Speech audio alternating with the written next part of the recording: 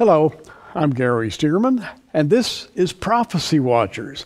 We have an incredible guest today. His name is Tom Hughes, Pastor Tom Hughes. Uh, it's I've known you for a while now, and you're always doing something brand new. And welcome to Prophecy Watchers. Uh, Gary, this is just great being here. It's always good to see you, and always a great opportunity to be here at Prophecy Watchers. Well, you've got something to say, and, and I'll start by holding up this book. Your name is right on the bottom of the front cover. It's called Marking the Masses. And I think this book is as clear a book as I've ever read about what's happening in the United States and in the world right now. And I think all of us have a sense that uh, there are people out there who are trying to crash the system. They're trying to create a revolution so that they can bring in their new way of thinking. And this book really goes a long way toward uh, a biblical explanation of what they're doing. Yeah, and thank you also for that. It's encouraging. So, my desire for the book was really to be able to put into uh, one format, one book format, and uh, just that, just what you said, an understanding. And it's really, it had to be deep enough for the seasoned believer who studies Bible prophecy to be able to go, I haven't seen that before, and to be able to connect all the dots at the same time. You have the gospel at the end of the book, and it's it's engaging and simple enough for somebody who does not know the Lord that will be able to pick it up and realize this for the first time. It all makes sense. I can see how it's coming together. Now, the book begins with a conversation that took place many years ago, back in 1961.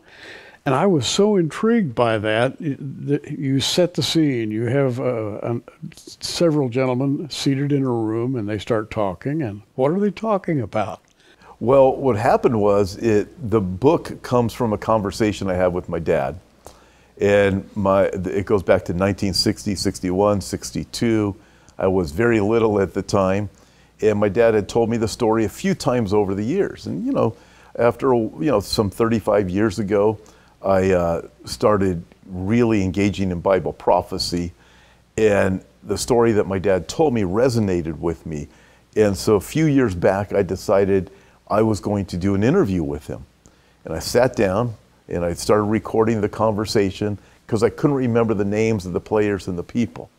And basically what it comes down to, in fact, there's a full video that goes with this too. But what it comes down to is my dad was, uh, he had gone to college. He had uh, gotten his master's in, uh, he was a metallurgist, he was in chemistry.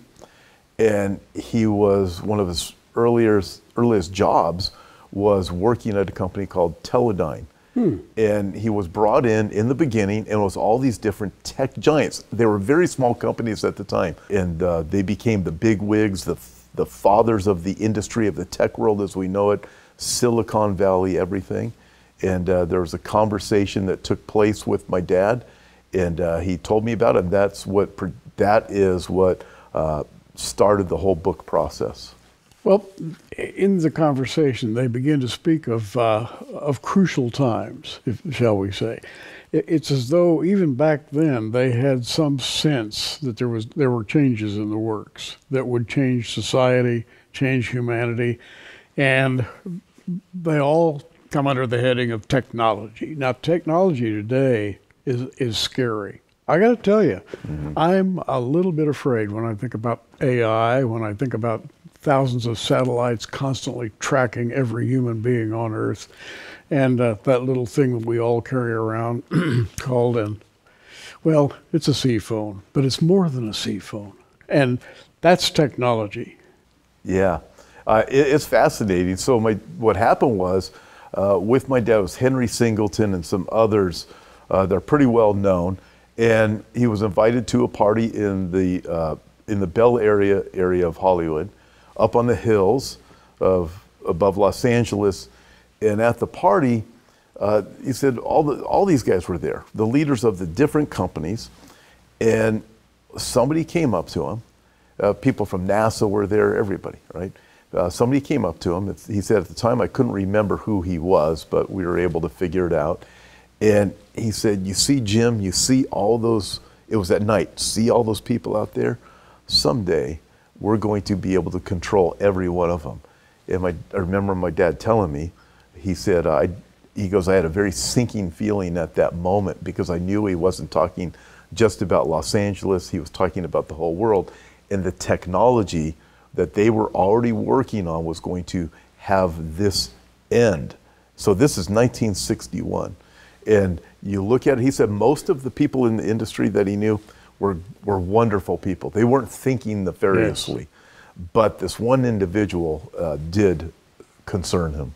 And, and that quote from that one individual that's in the book yeah. just, just is remarkable because it looks forward to where we are right now. And uh, in a few words, where are we?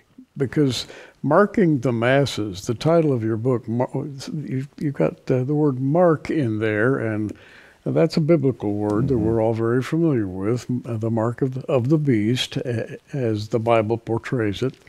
And marking the masses is a highly technologically oriented system, and you talk about that. Yeah, uh, I do. I get into the whole system because, Gary, I believe that right now, every single person that's alive, whether believer or non believer, yeah, we're in this. And this entire system is being developed right now. Uh, one of my friends recently asked me this question, then he answered it. He said, Hey, how long do you think, when Satan knows he's kicked out of heaven, he knows he has but little time, Revelation chapter 12, how much time do you think he, through his Antichrist, is going to set up uh, take to set up the infrastructure necessary to get to the mark of the beast? Then he said, None. He's going to set it up all ahead of time because he knows he has little time. So we are living in that. And so, what I wanted to do in the book was really walk people through the process, not just technology, although we deal with technology, right? Uh, not mm-hmm. just climate laws and climate rules. I wanted to go through all the different aspects of what is taking place because, Gary, we are we, are living it. And when we think of things that are happening right now, so that's 1961. Uh, the COP26 meeting, the climate meeting uh, in, uh, what was it, 2021. Uh, Prince Charles, who's now King Charles, he, he has this quote that he makes, and he talks about we must use uh, military style of takeover of basically the, the civilization. He didn't say we're going to go in there with guns, but we have to go about this in this manner, like a warlike manner, to be able to control the masses of people. And then he says, and he has trillions at his disposal. I mean, that's what I heard. Some say he yeah. says trillions at its disposal, meaning the system. I read his lips. I had to play it back in slow motion. It said, looked to me like he said trillions at his disposal, but nevertheless, either way, that's what they're doing. It's this military, military-like campaign to bring about this global system. Well, of course, marking the masses uh, is a reference to the what the Bible calls the mark of the beast, and the mark of the beast is kind of a mm, kind of symbolic, kind of metaphorical who's the beast anyway? We really don't know who the beast is. And people have talked about these things for years and years and years and say, well, I really don't understand it. Uh, I can't figure out exactly how all this is going to go together. Well, Tom, this book is showing us how it's going together. And I, I've got to tell you, it sort of raises the hair on the back of my neck when I think about uh, marking the masses, the mark of the beast, and, and how the system is being crashed right now before our very eyes, the global mm-hmm. system. Yeah. And someone, and the Bible says who, is going to have to come in and fix it all up. Yeah, Mr. Fix It, Antichrist. you, know, you yeah. look at it, there's so many different aspects that are going on right now. Te- the technology to be here now, 1961, we, know, we understand that. We see Silicon Valley, get all of that. But not only is the technology necessary, I believe the whole thing's, there's going to be a big collapse, a crash.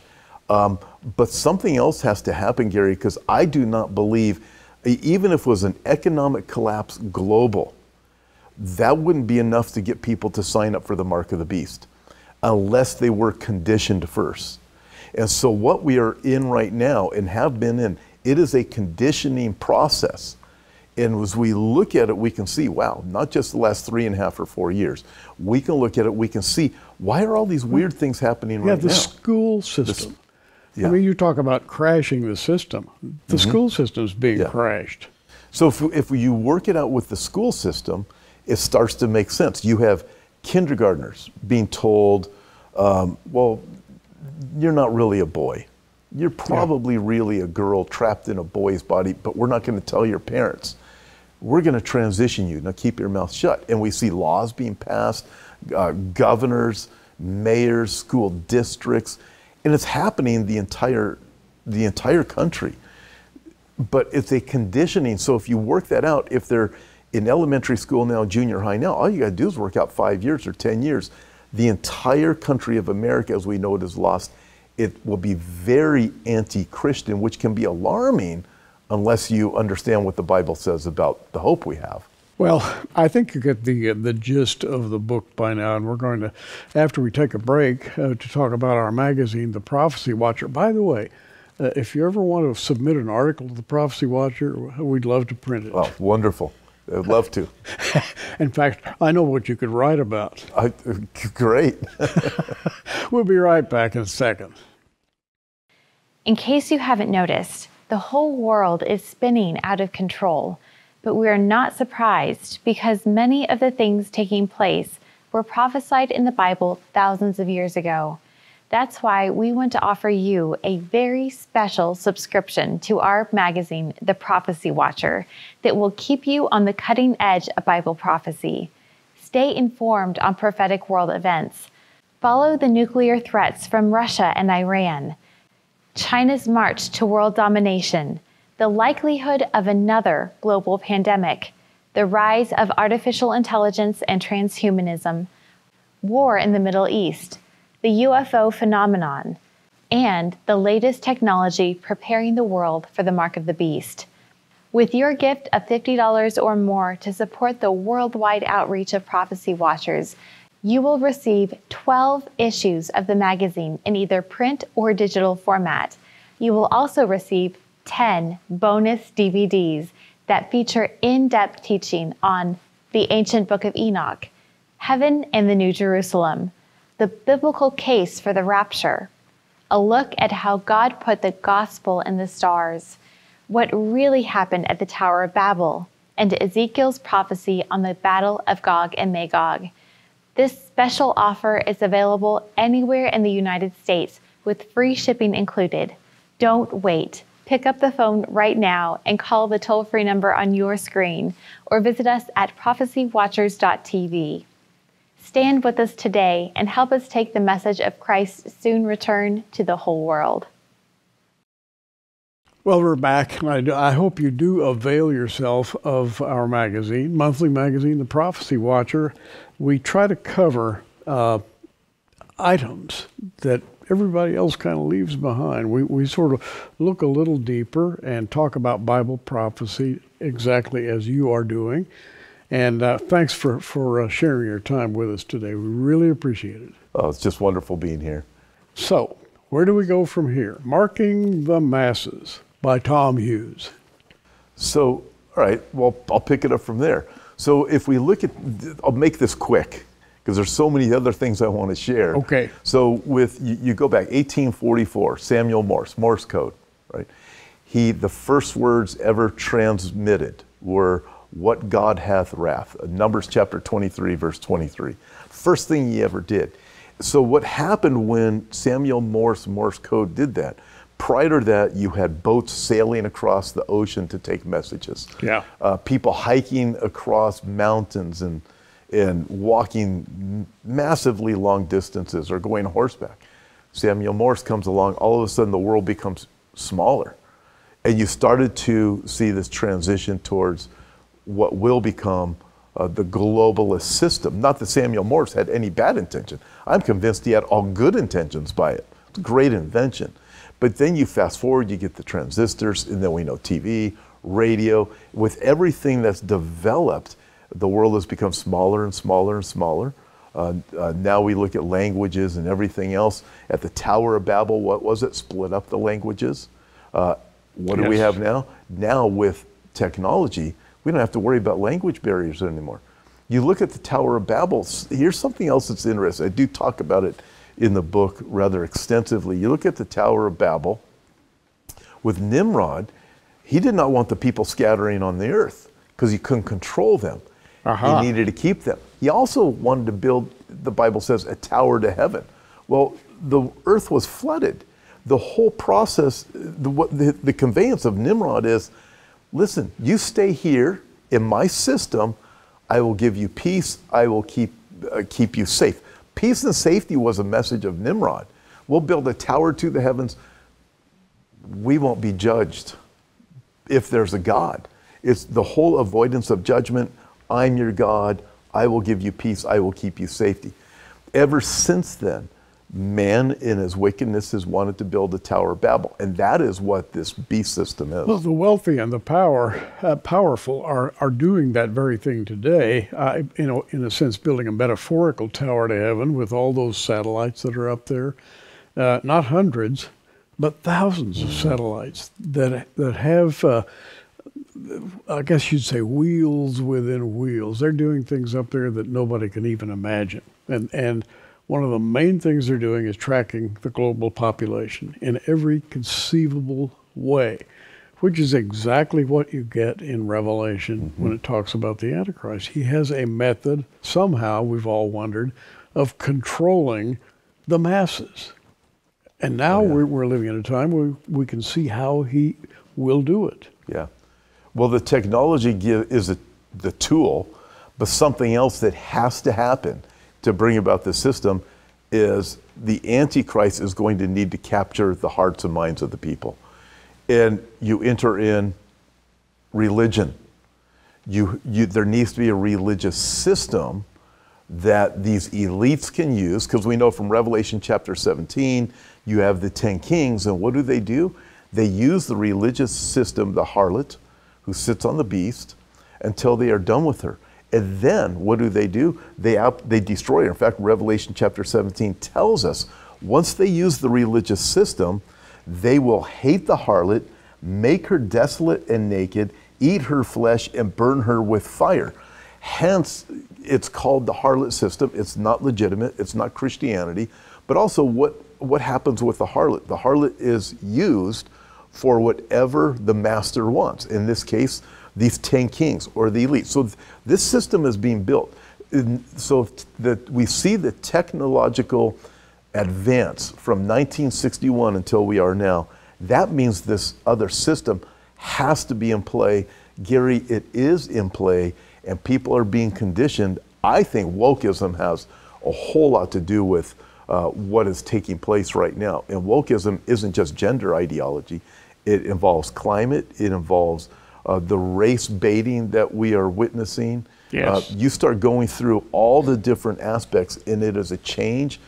The ESGs, the environmental, social, governance scores, the whole social uh, scale is what is going to change this dynamic that the elite need.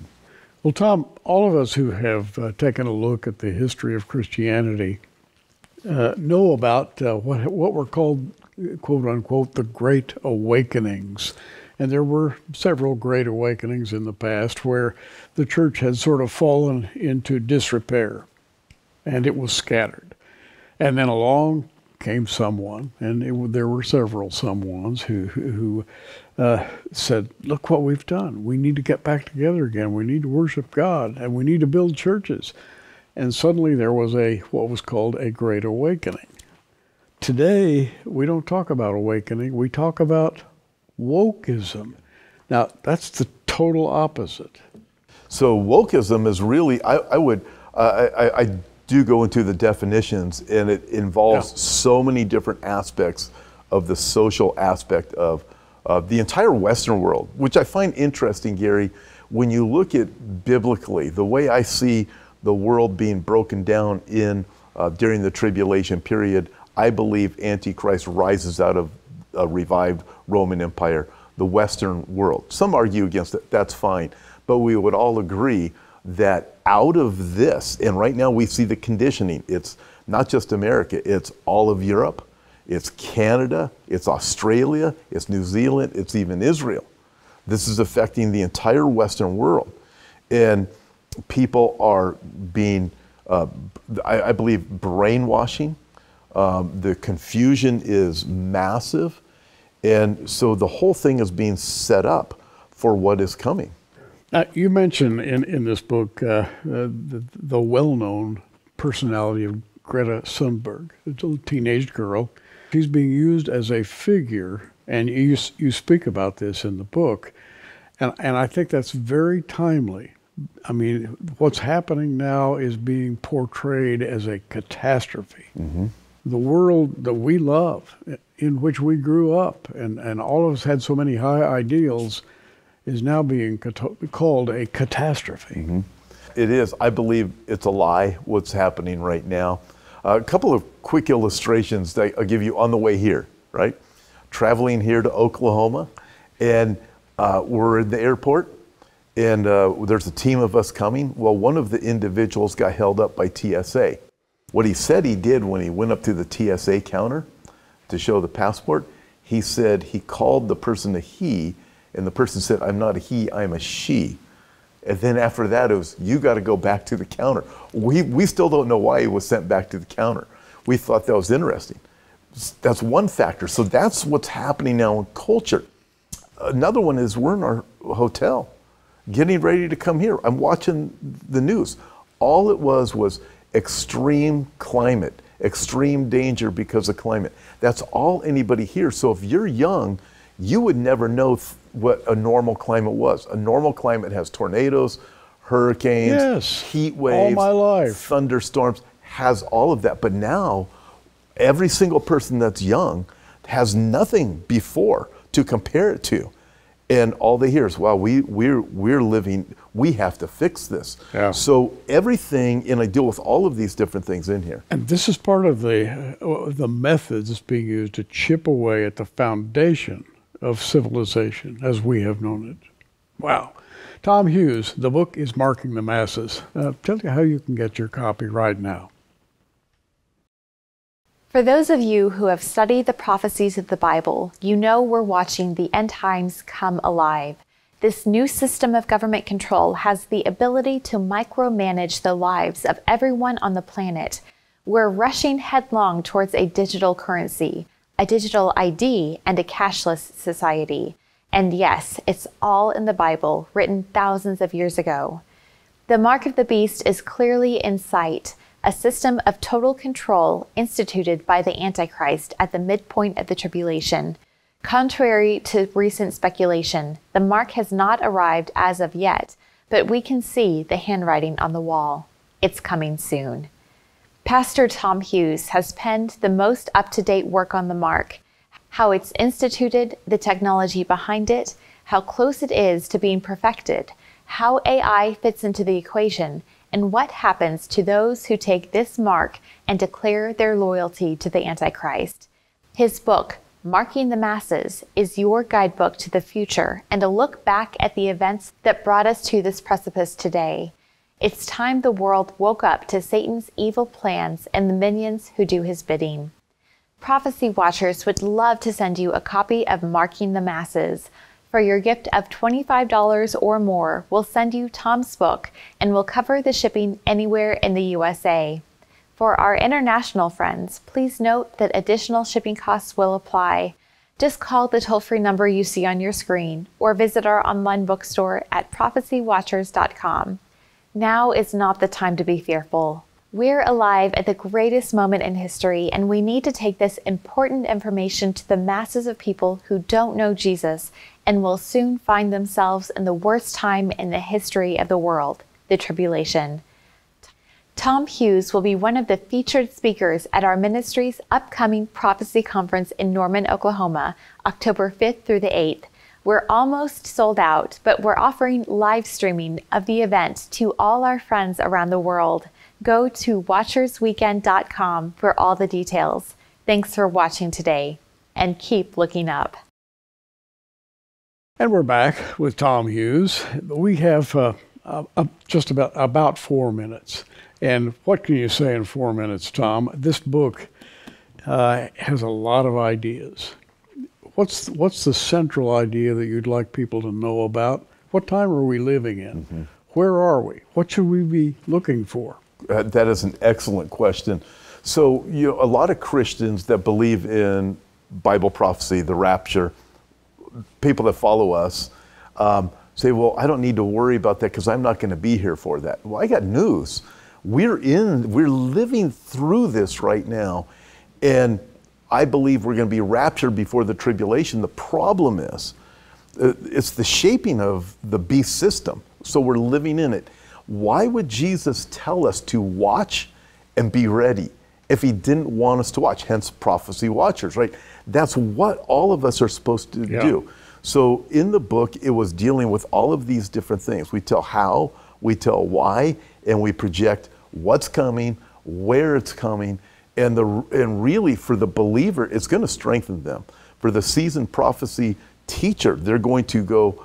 I'm, I'm convinced they're going to look at this and say, "I never made this connection before." Right, they will. I, and I, having read the book, and I did read it. and I'm glad I did. Having read the book, I do have some firm basis upon which to stand, view all these things that are happening. I, I, actually, it was kind of encouraging for me because I had a, a, a kind of a hmm, now I, I am understanding things a little better feeling. Yeah, yeah it's going to do that for anybody that reads it. They're going to get it because it really does connect all the whys. It does, and it, that builds your faith. And for those who don't know the Lord, it's an excellent tool to just be able to give somebody because it not only has the gospel in it, it's also non offensive to a non believer.